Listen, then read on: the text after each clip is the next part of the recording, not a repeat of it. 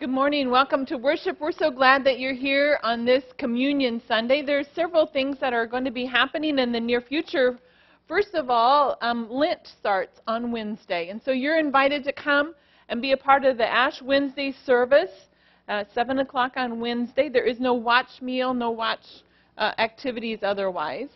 And um, there is um, Advent devotionals at the at the uh, doors. So if you already have one, that's great. If if not, pick one up on your way out. We're going to be walking through Lent. I have the posters um, out here in the gym. If you would sign up to say that you're going to be walking along with us, we're walking uh, the paths of Christ, and so we hope that you will not only walk physically, but that you will also be using it as a way of walking along with Christ during Lent. There's different days uh, that you can sign up if you would like to do the Christ Walk book itself. It's a devotional book and an accountability group. If you would like to do that, there's um, times that we're going to be offering that. One is Sunday at 1, Wednesday night, and Thursday at noon. So if you'd like to be a part of that group, please sign up. You'll also notice that Pastor Gary has some uh, activities coming up during Lent on Wednesday nights. He and Becky will be offering a marriage um, kind of workshop type of thing, and it's going to be at his house, uh, at their house, and um, sorry, their house together. And uh, if you want to sign up, there is a sign up sheet in the gym, and also, and I said sheet, not, and um, also there is a sign up sheet for the um, Tuesday night basic life, basic life. Oh, my goodness. So we have somebody that wants to come talk about the Club 56. We have more than just one. We have a group. Hi, my name is Lydia, and I am part of Club 56. I would like to invite all of our older sweethearts to our third annual Valentine's Sweet Sweetheart Tea. It'll be on Saturday, February 13th from 12 to 2 in the gym. Please RSVP to Miss Amy through the, off, through the church office. Please remember, if you need child care, this is not an event for you. Thank you, and we are looking forward to serving up a great time. Yay. Today, the youth have your subs. If you've already pre ordered, please pick them up on your way out. The subs and chili. Um, if you didn't get a chance to order, there are some extras. Um, so so please stop by and pick up your uh, subs and chili so that you can have a super day today. Um, Pastor Gary would like to talk about Boy Scout Sunday. So, this today is, or this week is the 106th anniversary of the founding of the Boy Scouts. And we are privileged to be the sponsor for Troop 178. And we had about, what, 30, 30 Boy Scouts at the first service. It was wonderful, and many of their leaders and families, and it was a wonderful thing. Um, we still have Matt Milby here, who's in in uh, in his uniform, man in uniform, and uh, and we have one uh, who should be in Sunday school, but he is in worship with us right now because he has a presentation to make. And I want to ask him to come on up and help me lead us all in the Scout Oath and the Scout Law together. Full of good stuff, the Scout Oath and Scout Law is. Uh, would you stand and if you were a scout, put your fingers up? You still do that in scouts? You said, okay? Here we go. Ready? On my honor, I will do my best to do my duty to God and my country and to obey the Scout Law, to help other people at all times, to keep myself physically strong, mentally awake, and morally straight. And then, a Scout is trustworthy, loyal, helpful, friendly, courteous, kind, obedient, cheerful, thrifty, brave, clean, and reverent. Thank you very much. Have a seat. Um, if there is a young man who exemplifies the oath and the law in our church, it's Zach Losey. I appreciate him. Uh, watched him these last few years just grow into a wonderful young man, and I um, am grateful that he is here to say a word or two about his Eagle project, which is almost done. Hi, my name is Zach Losey, and I just want to give an update to you all on, on my Eagle Scout project. Um, as you can tell, my Eagle Scout project is very close to being completed. All I have left to do now is to put in the plants, which will be done in the spring. Um, I'd also like to say um, thank you to all that donated to my Eagle Scout project. I'd say a special thanks to Sam Churchill, John Ackerman, and Bob Bailey, who helped me with the planning and the design of my project. Paul Oman, who helped me um, cut the wood for my crosses and assemble my crosses. Scott Monroe, who helped me with um, the landscaping of my project. Joshua Rassi, who helped me um, drill the holes for my crosses and put the crosses in the ground. And Russ Pribble, helped me with the lighting of my crosses. Again, thank you all who donated and helped, and have a great day.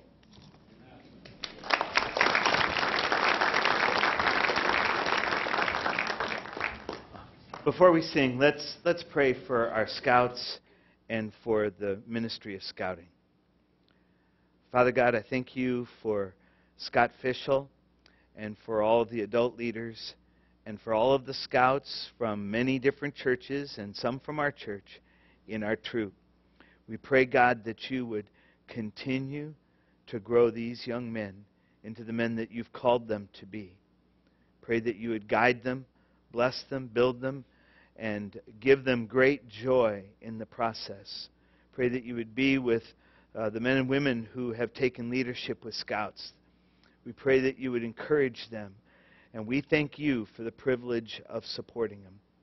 These things we pray in the name of Jesus Christ, our Lord and Savior. Amen. Um, let's stand and sing Come Ye Sinners Poor and Needy one of my favorite invitation hymns.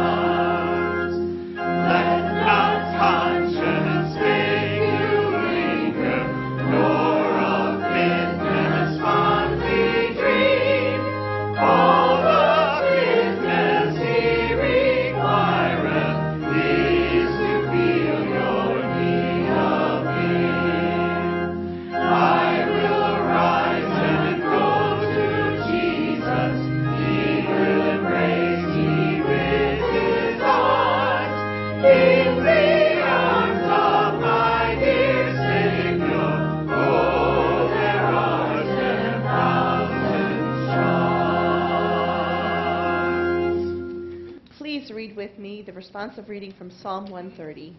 Jesus' call is to come. Come to me, all who labor and are heavy laden, and I will give you rest. Go and sell what you possess and give to the poor, and you will have treasure in heaven. And come, follow me. Jesus' call is to go. Go into the world and proclaim the gospel to the whole creation.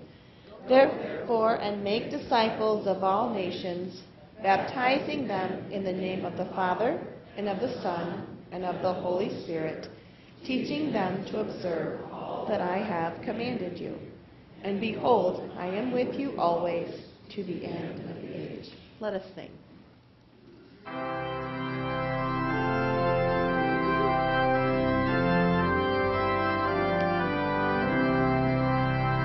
We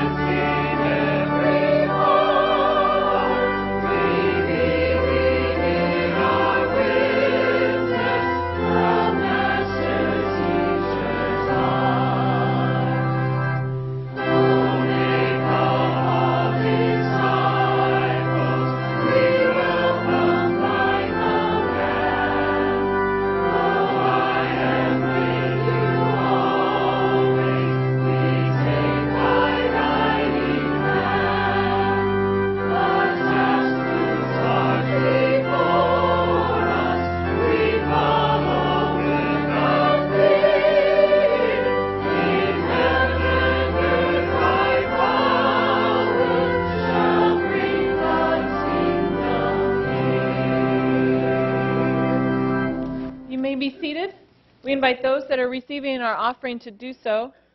One aspect of Christ's call upon our lives is the call to give. Each time we receive an offering, we have a chance to practice answering the call.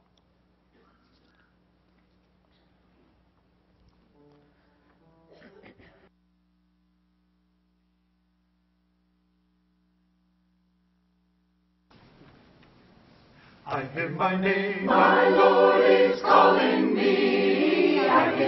calling my name. I hear my name. My Lord is calling me. He calls me by my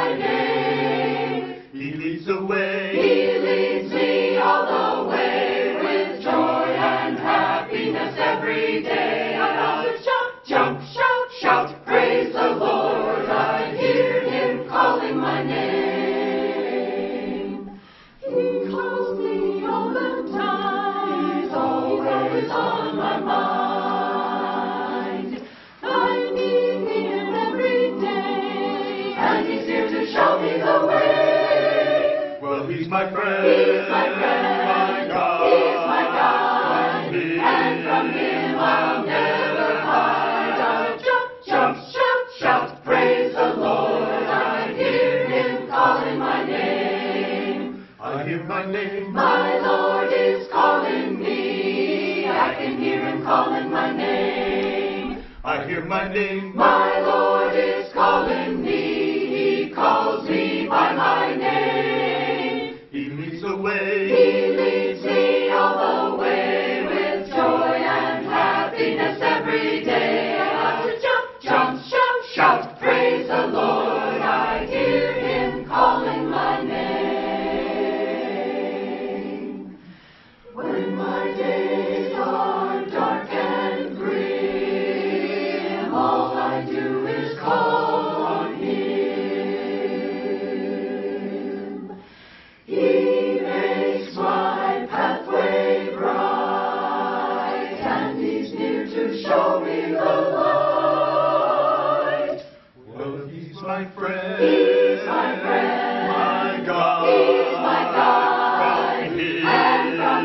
Him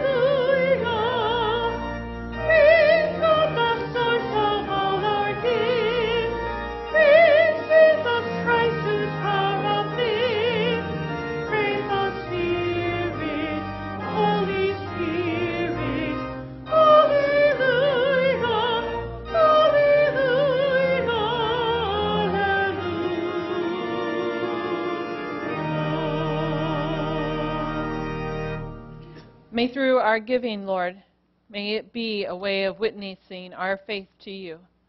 Use these gifts. Help them to transform the world as they transform our lives. In Christ's name, amen. Take a moment and greet those that are around you.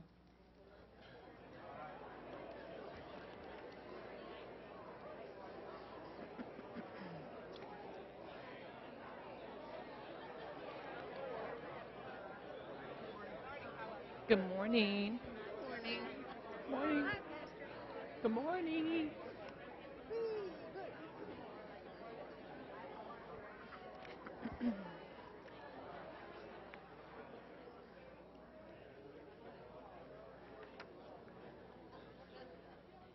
The peace of Christ be with you. we invite you to be in a time of prayer as we remember those that have been in the hospital or recovering at home, those that have uh, lost a loved one. For the Hilbert family, we get, continue to pray for them. And uh, for those that are facing surgery this week, there are several in our congregation. So uh, let's turn to God in a time of prayer.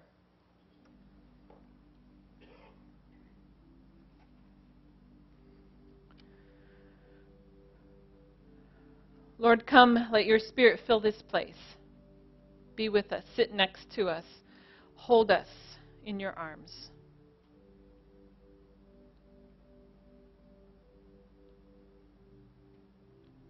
Lord, come into our lives. Fill us with your spirit. Help us to be dedicated to you. Help us to be focused on your call.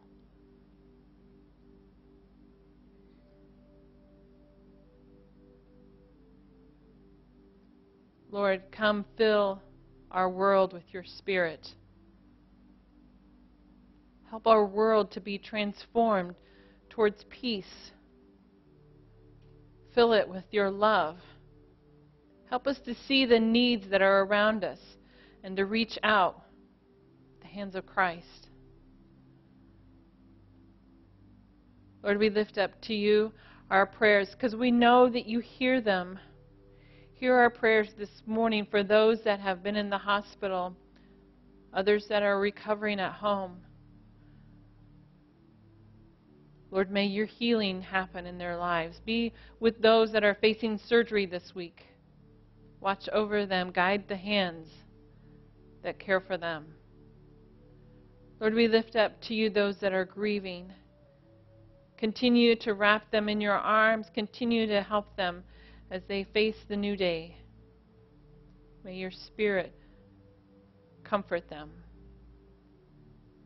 Lord, be in those places in our world where there's brokenness.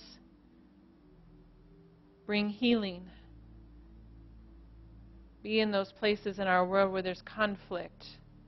Bring your peace. Lord, we're mindful of how decisions are made affect the many. We ask for wisdom for our world leaders, for our church leaders.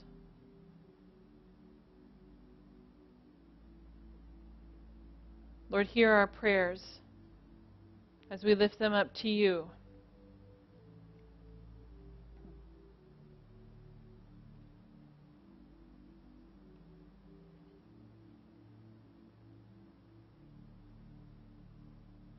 Lord, we also come before you for ourselves.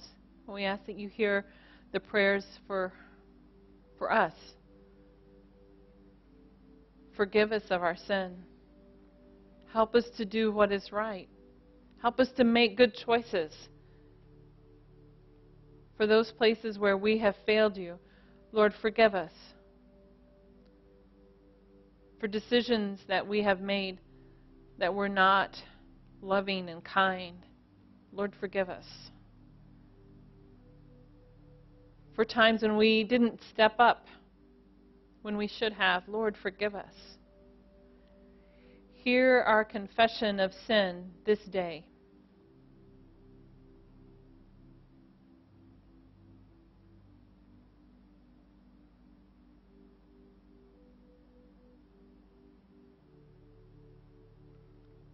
And Lord, now hear us as we pray in one voice the prayer that Jesus taught his disciples to pray together. Our Father, who art in heaven, hallowed be thy name. Thy kingdom come, thy will be done, on earth as it is in heaven.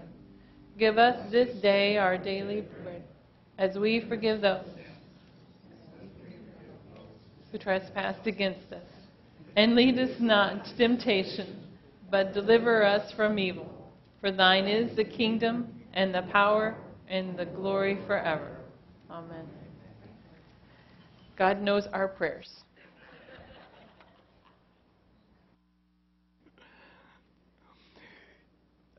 You know, I think we ought to just assign, you know, one batch to say trespasses and another batch to say debts and the other half to say sins, and then we'd get it all covered. No, I'm just kidding. That's awesome. Well, we leave Jonah and we move on to Jesus. Jonah was that half hearted, reluctant prophet. Jesus was willing to come. Uh, Jesus came as the perfect prophet, the perfect king, the perfect priest, and the perfect sacrifice. For Jesus was God with us. So we are going to spend a good deal of time between now and the end of April looking at Jesus' call, the words of Jesus' call upon our lives. And this is just the first. But I have to admit, Matthew 22, 1 through 14, this parable as Matthew relates it, that Jesus spoke, is a very uncomfortable parable. It'll make you squirm. Makes me squirm. But that's okay, I think. Hear the word of the Lord. And again, Jesus spoke to them in parables, saying, The kingdom of heaven may be compared to a king who gave a wedding feast for his son and sent his servants to call those who were invited to the wedding feast, but they would not come. And again he sent other servants, saying, Tell those who are invited, See, I have prepared my dinner. My oxen and my fat calves have been slaughtered, and everything is ready. Come to the wedding feast. But they paid no attention and went off, one to his farm, another to his business, while the rest seized his servants, treated them shamefully, and killed them. The king was angry and sent his troops and destroyed those murderers and burned their city. Then he said to the servants, The wedding feast is ready, but those invited were not worthy. Go therefore to the main roads and invite to the wedding feast as many as you find. And those servants went out into the roads and gathered all whom they found, both bad and good. So the wedding hall was filled with guests. But when the king came to look in at the guests, he saw there a man who had no wedding garment. And he said to him, Friend, how did you get in here without a wedding garment? And he was speechless. Then the king said to the attendants, Bind him, hand and foot, and cast him into the outer darkness, in that place where there will be weeping and gnashing of teeth. For many are called, but few are chosen. As uncomfortable as that is, this is the word of the Lord. What do you say? Lord, we thank you for your word and we ask for your spirit, your illuminating spirit, to come and shine the light of this word into our hearts so that we might know who we are as your called, your chosen people. Help us, Lord. In your name we ask it. Amen. So, over the next four months, we're going to enter into the world of Jesus. Try to enter into that world by maybe mentally pretending that we're one of the disciples, walking along, hearing these words, hard as they are, and this call and its many facets. For Jesus called people, called people to come, to follow him, to deny themselves, to work, to tell, to go, to love, to serve, to pray, and a host of other things. And we'll be looking at the many glorious aspects of the call of God in Christ upon our lives. All of them that we can discern in the book of Luke, for that's the gospel we'll be looking at. So, why, you ask, did we read today from the gospel according to Matthew? I have to be honest. This is not one of my favorite parables in the Bible. I chose it to begin this new sermon series on Jesus' call because of its punchline. Many are called, but few are chosen. That saying is found here and only here in Matthew 22:14 in the scriptures. Can't find it anywhere else. It's not in the book of Luke, it's not in Mark, it's not in John. It's here. And that phrase is puzzling. And I want us to figure out what it means. And the parable in front of the phrase is even more puzzling. So let's get to work.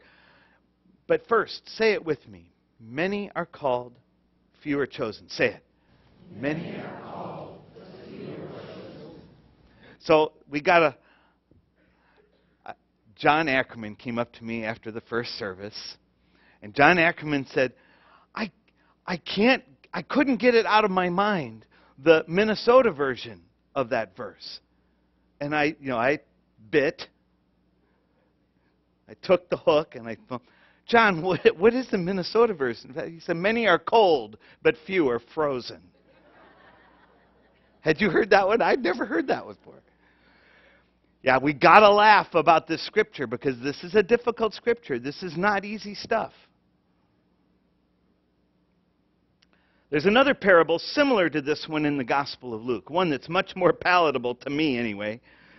And we'll explore that one in depth in April. It's the more famous and the more enjoyable of the two.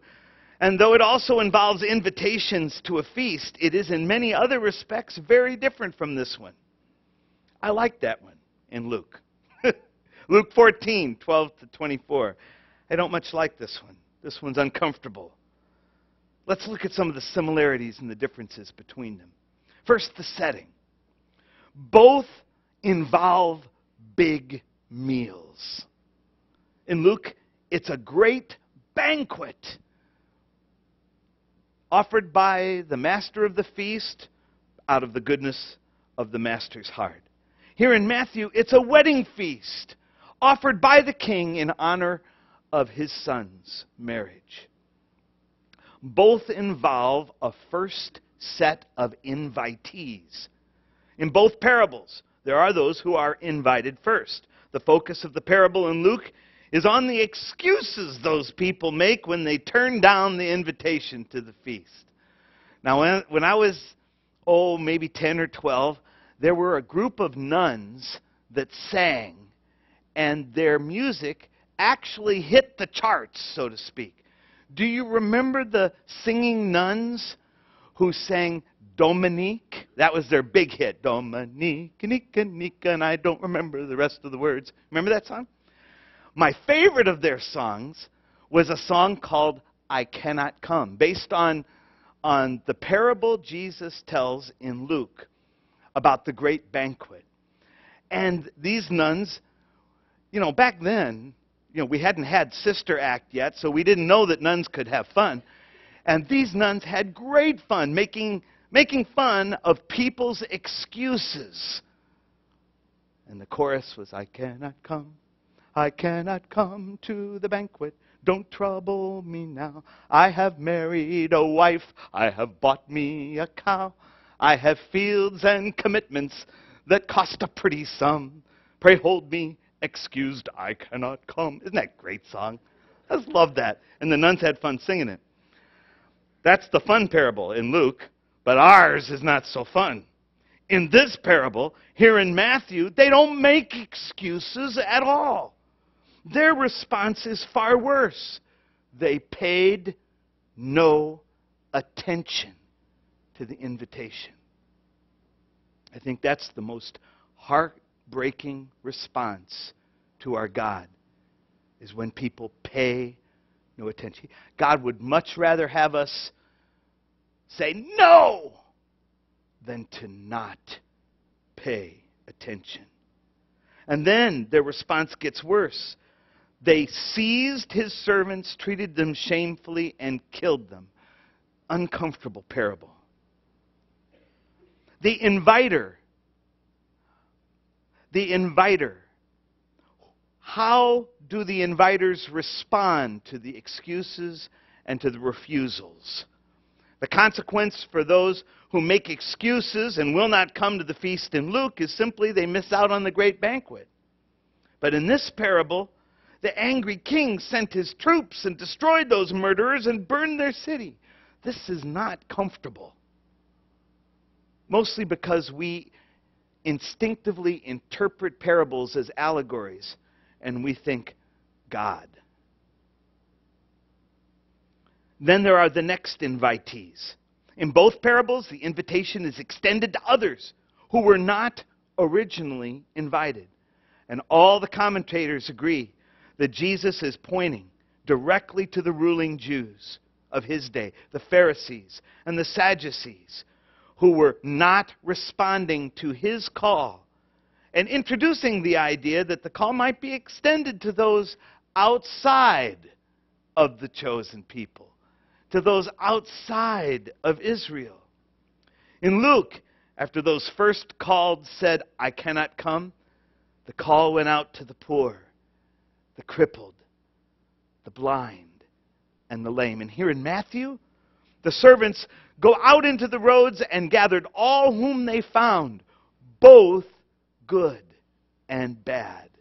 Now, that's a comfort to me because I know I'm not good, not in and of myself. I know my the image of God is tarnished in me. So it's a good thing that they go out and invite the bad as well as the good. So the point of both parables so far, because ours in Matthew isn't done yet, the point of both parables so far is that God wants a full house. And I'm not talking poker. God wants to fill his house to the fullest. And if Israel refuses the invitation, God will call others. In Luke, the master of the feast says, Compel people to come in so that my house may be full, may be filled. And here in Matthew, the last line of this section of the parable sums it up. So the wedding hall was filled with guests. I can think of all kinds of applications here, can't you? For example, who do we invite?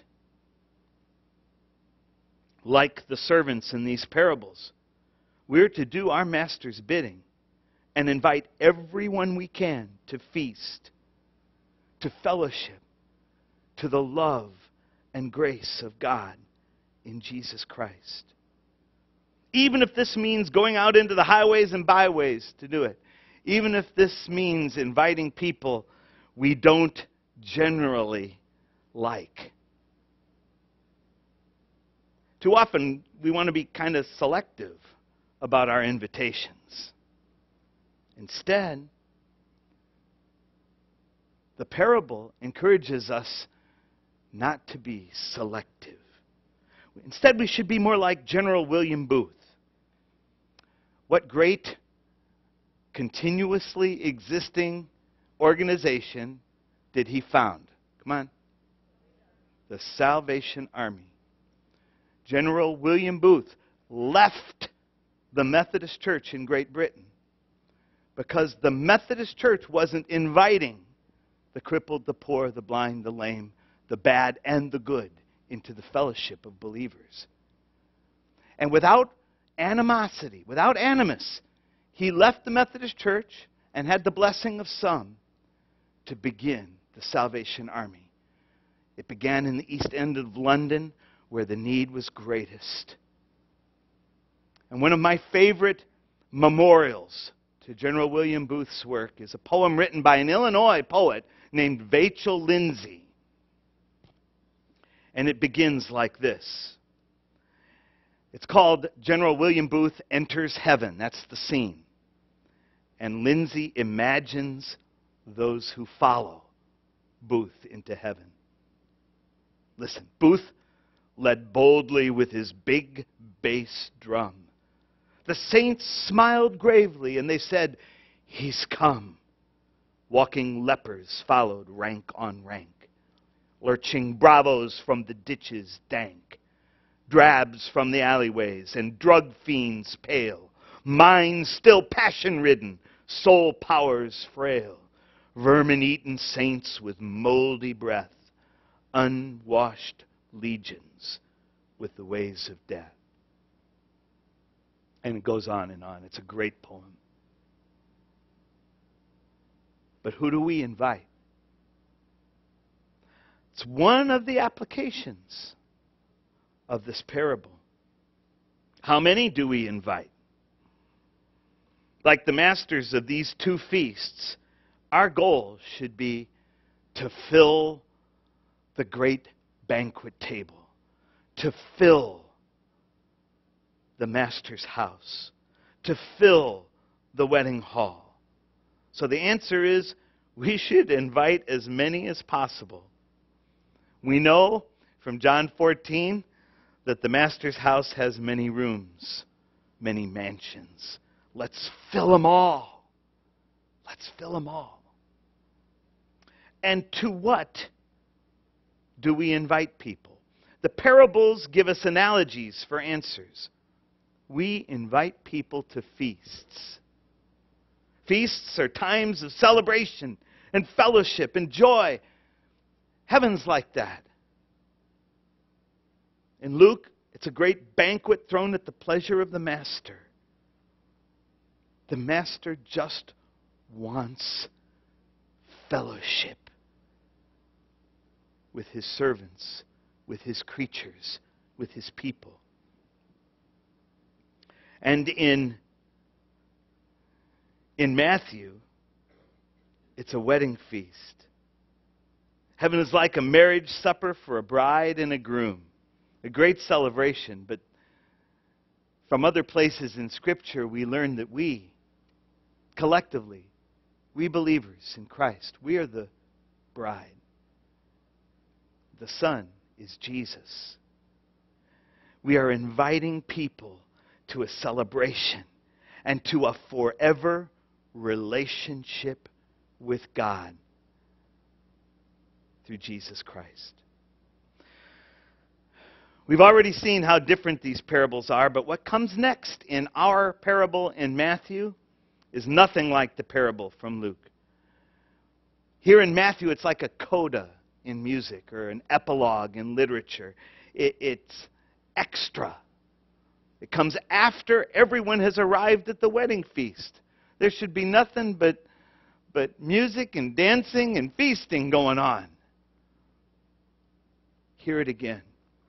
Matthew 22, 11 through 14, the most uncomfortable part of this uncomfortable parable. But when the king came in to look at the guests, he saw there a man who had no wedding garment. And he said to him, Friend, how did you get in here without a wedding garment? And he was speechless. Then the king said to the attendants, Bind him hand and foot and cast him into the outer darkness. In that place there will be weeping and gnashing of teeth. For many are called, but few are chosen. What is this about? What is this? If we were to interpret this parable as an allegory instead of a parable, in an allegory, everything has a one to one correspondence to something, everything has a meaning. In parables, it's not so precise. There's more like one general idea with multiple applications.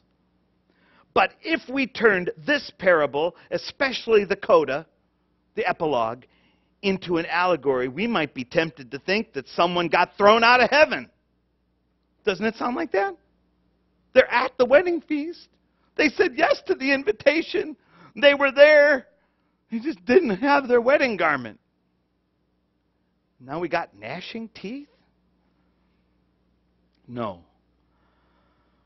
We see this parable in a much more fluid way than we see allegories. What Jesus is teaching here seems to hinge on one thing and down through the history of the church, those who've grappled with this have agreed.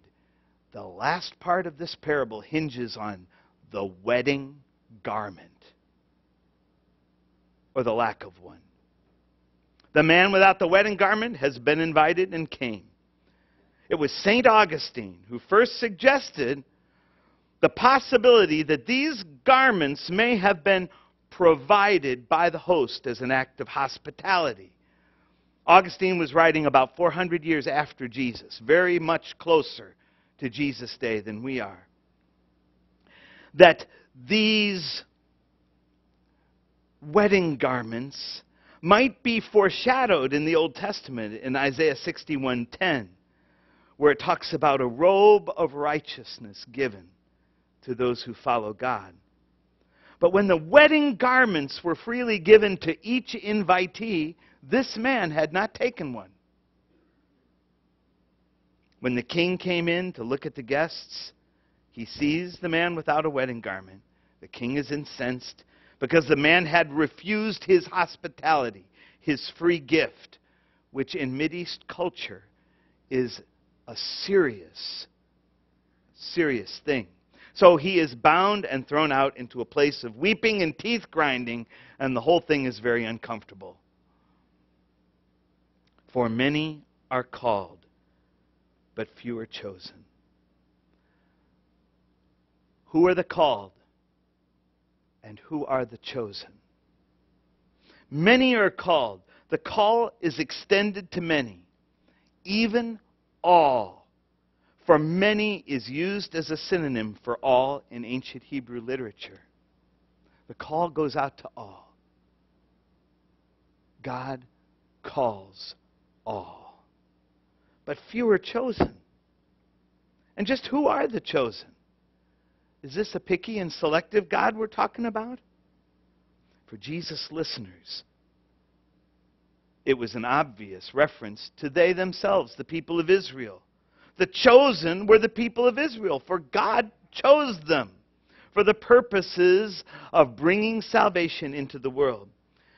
For some Christians, the chosen are the saved, the elect.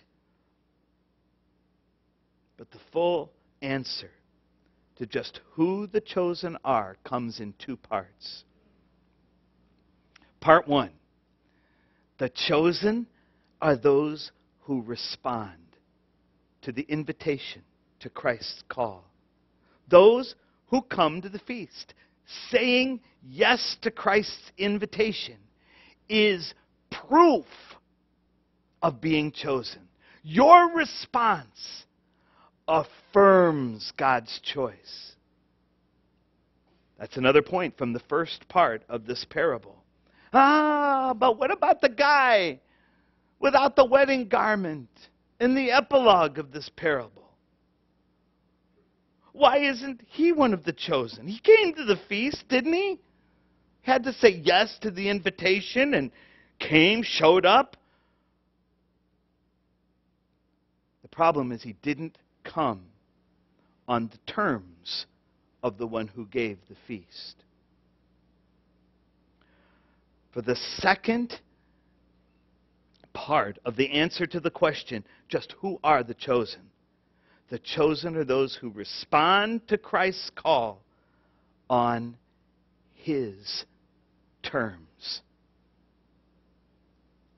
and not their own. Too many of us, and I'm included in this, we want to come to Christ and enjoy all the, the blessings of heavenly banquet, wedding banquet. We want to enjoy the fellowship and the celebration. We want heaven for sure.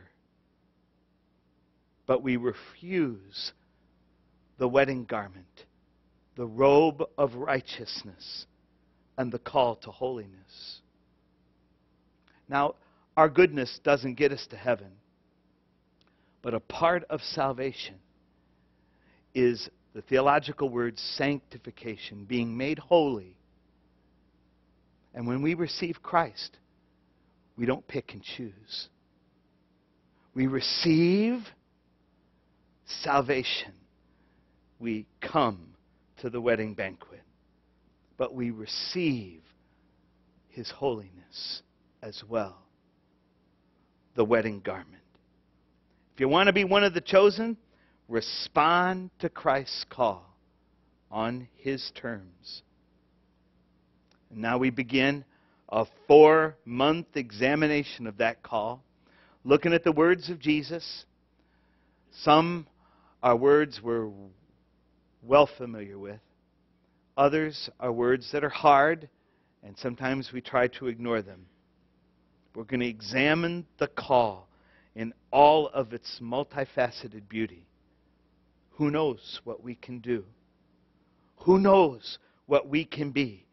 if we respond to Christ's call on Christ's terms. Come, Lord. Help us not just come into the feast, but to receive the garments of righteousness that you've laid out for us. Continue your work of making us your bride perfect beautiful without blemish through the power of your Holy Spirit at work within us. In Christ's name we ask it. Amen. Now listen. Today you've been invited to the banquet. Huh? This is the banquet. Today you are invited into the banquet hall of God, the wedding feast. And a way of saying yes is to hear the invitation through the hymn we'll sing and then receive it through this means of grace. It's what John Wesley called it a means of, of doing in a physical, tangible way what we want to do spiritually in our hearts. Say yes to Jesus' call on his terms.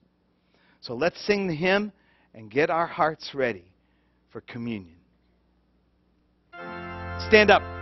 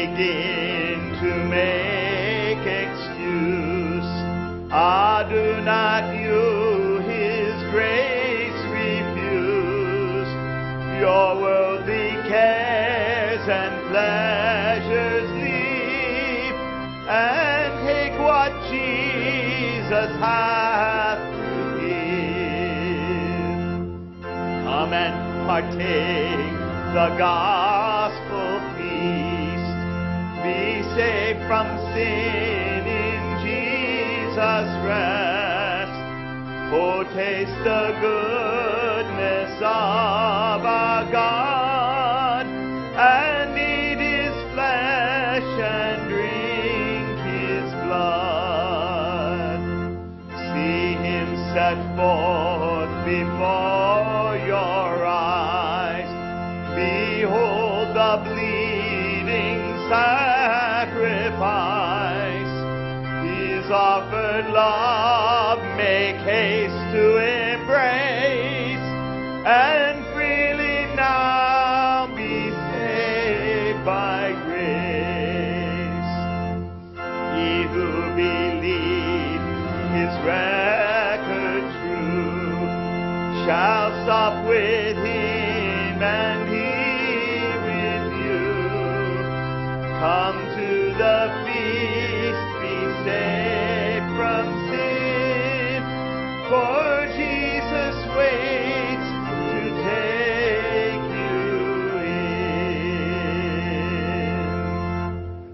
beautiful picture. Jesus waits to take you in. Have a seat.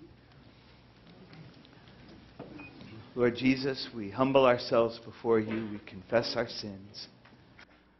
We bear ourselves in your presence.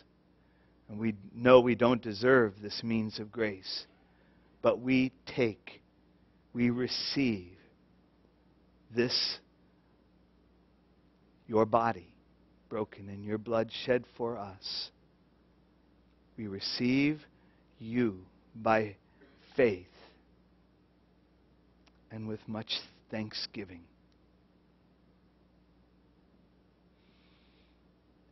In your name we pray. Amen. On the night our Lord Jesus was betrayed, he took bread, and when he had given thanks, he broke it and said, This is my body given for you. Do this as often as you eat it in remembrance of me, and be thankful. And likewise, he took the cup, and after giving thanks, he said, Drink from this, all of you, for this is the cup of the new covenant poured out for you and for all for the forgiveness of sins. And so, as we drink from the cup, we are forgiven and offered new life in Christ. All are welcome at the table in our church. So it doesn't matter if you're a member or a member of some other congregation. If you trust Jesus, please share communion with us unless your home church frowns on that sort of thing. Uh, everyone, if you'll hold on to the bread until everyone's been served, we'll get to receive it together. And gluten free is offered in the small cup. Yeah.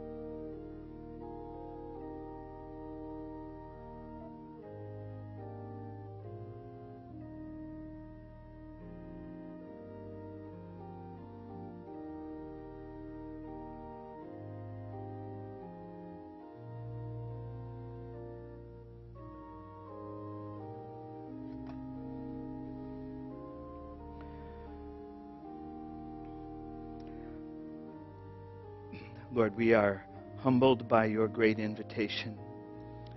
And as we hold this symbol of your invitation in our hands, we say yes. We come to the banquet. We ask you to clothe us in the garments of righteousness. We ask that you live in us as we eat this bread, which is for us your body. Live your life in us and through us. In Christ's name, amen. Let's eat together.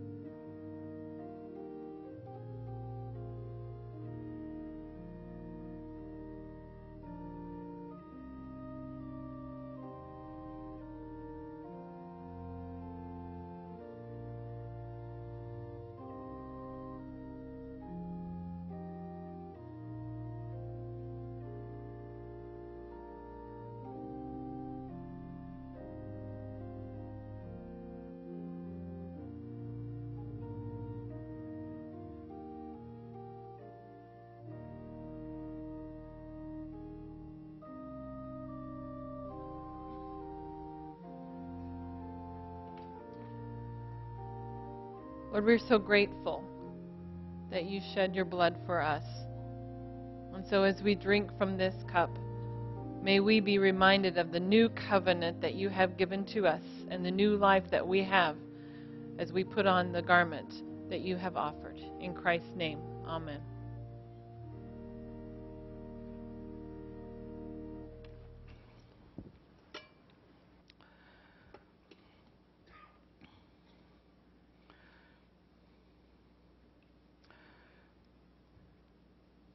So this banquet is over. But the heavenly banquet, the banquet in the parable, there's no end to the banquets that are described in Jesus' parables. So, what we do now is we live out the effects, we live out the joys of having received once again the glory of our fellowship in Christ through Holy Communion. We live that out now in the world. So, with that in mind, please stand and sing, and we'll just say for the last time this cycle, go tell it on the mountain, because it's one of the main things we're supposed to be doing.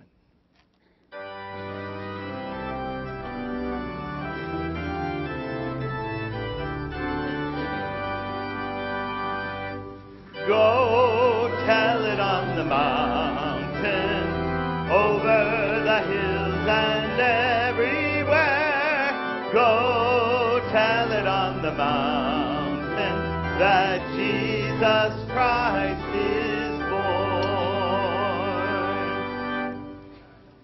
The girls are taking the light out of the sanctuary, so we follow them with the light of Jesus. Goodbye.